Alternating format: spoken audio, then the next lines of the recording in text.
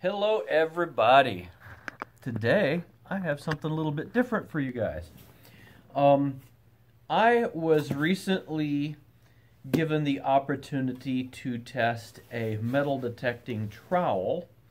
I'll throw up a picture of that right here so you can see that by a company. Um, and I really like it. It's super lightweight. Um, it's very nice handle could be a little bit longer because my I don't have big hands, but my hand just feels like it's going to slide down on it. It could be a little bit longer that way. But uh, for the cost of this thing, it is absolutely fantastic.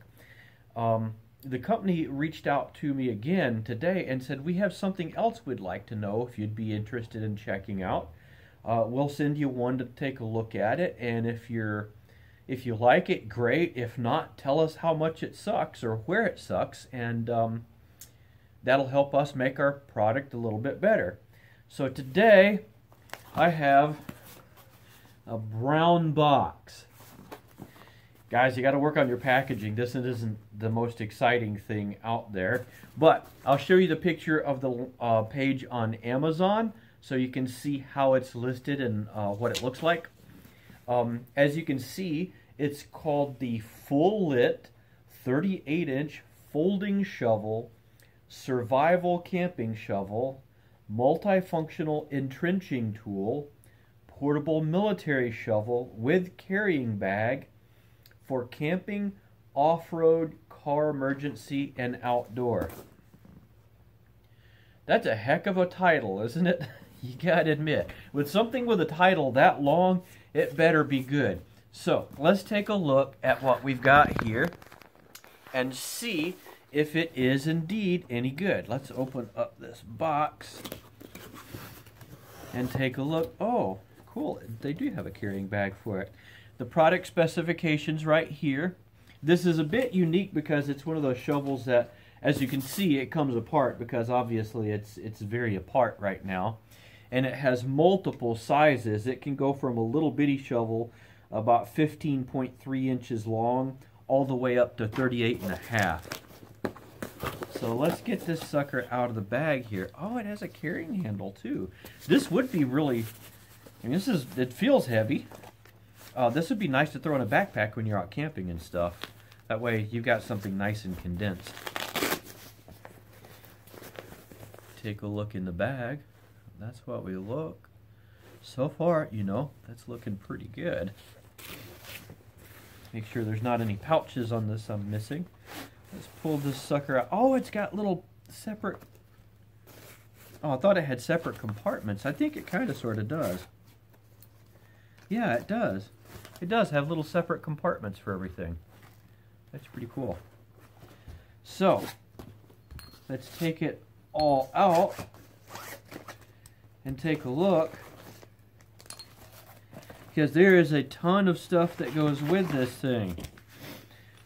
Uh, and even your shovel is covered. Check that out. Nice little thing here. This is heavy duty stuff too. This feels really nice. So what you've got is a shovel, three sections, and two doodads. Obviously, since this one has the lanyard, this is the other end. You can use this just by itself. It has a tip here that is your um, glass break thing like a safety hammer so that you can smash out windows and things. You've got uh, this looks like a fire starter. Yep, that is uh, probably like a magnesium fire starter. And I do believe this comes out. Yep, it does. And look at that. It's a whistle. Ooh, it's a pretty good whistle too. nice. So just the tip of the handle and we've already got three things that we can use. And this is heavy. I bet if you're out in the woods and you needed to like smash some stuff up, that would work really good for it too. This little piece right here is a knife. Ooh, and it comes actually pretty sharp. I don't think it's sharp enough to shave. No, it's not. But for a survival knife, you don't want that edge to be too sharp um, is then you can like get yourself into trouble um, and the blade dulls pretty easily And that, I think, fits into one of these sections here.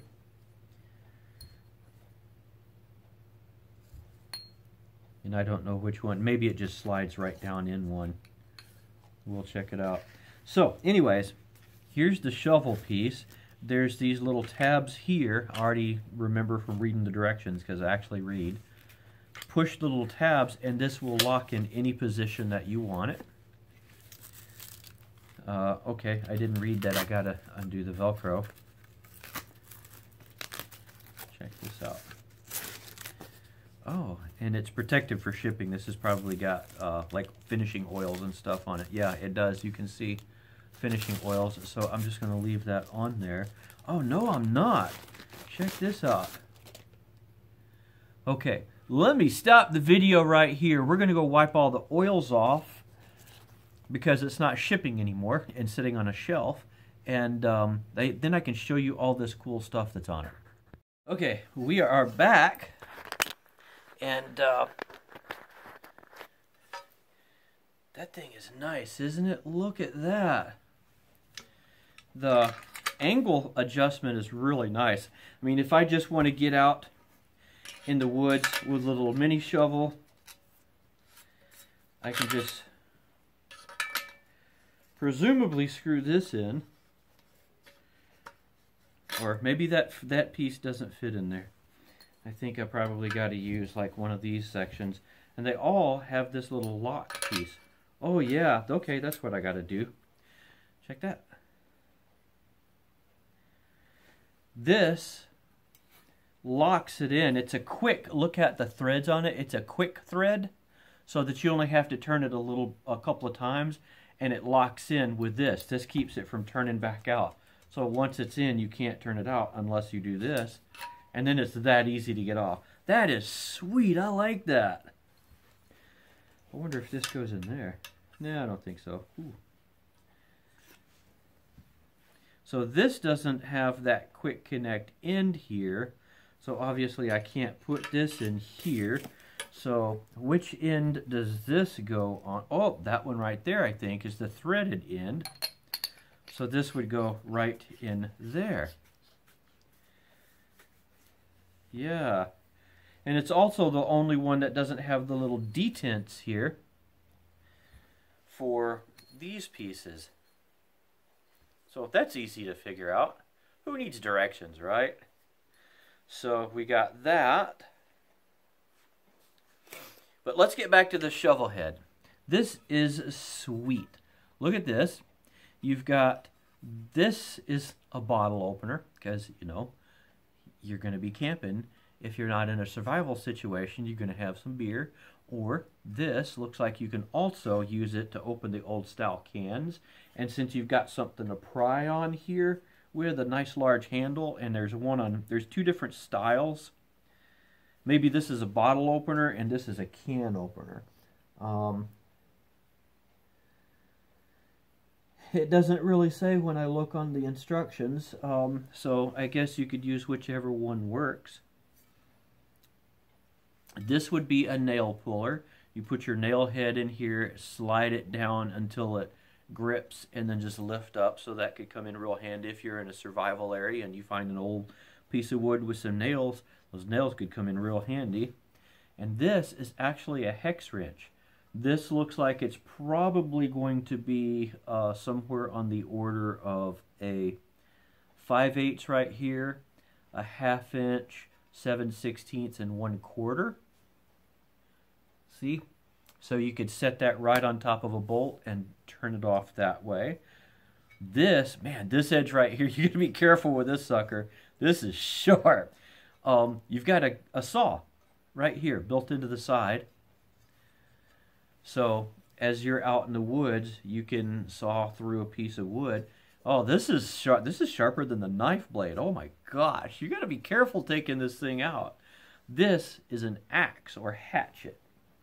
So I could take this, um, you know, use it, it, depending on how long I need to have a handle on it.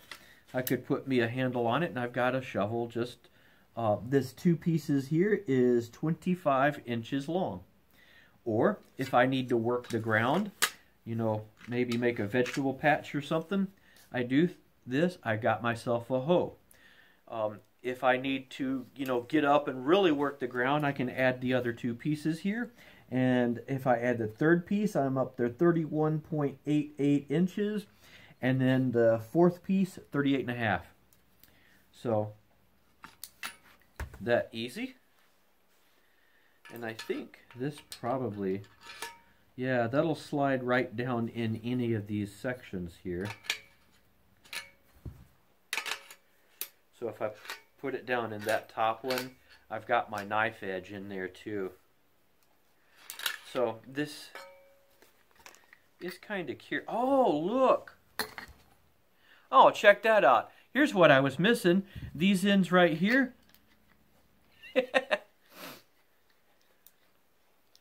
Threaded to hold the knife. So no matter what section I have it in, if I've got my end here, I've got my knife. If I put this one on, got my knife.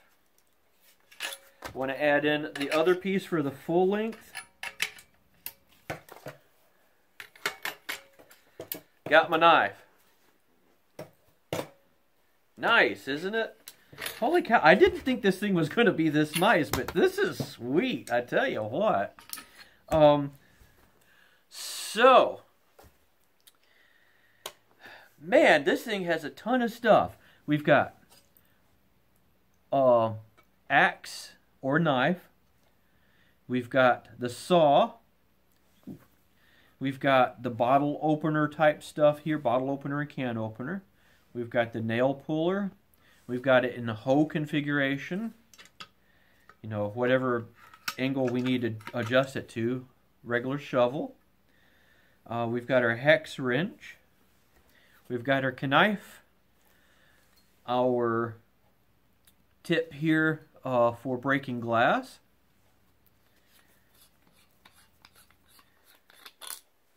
Our fire starter and our whistle down inside there. And I suppose if you really needed to, you could use this for survival too. You could um, you could take this knife and put it down on the end of these. Like, check this out. What if I did this?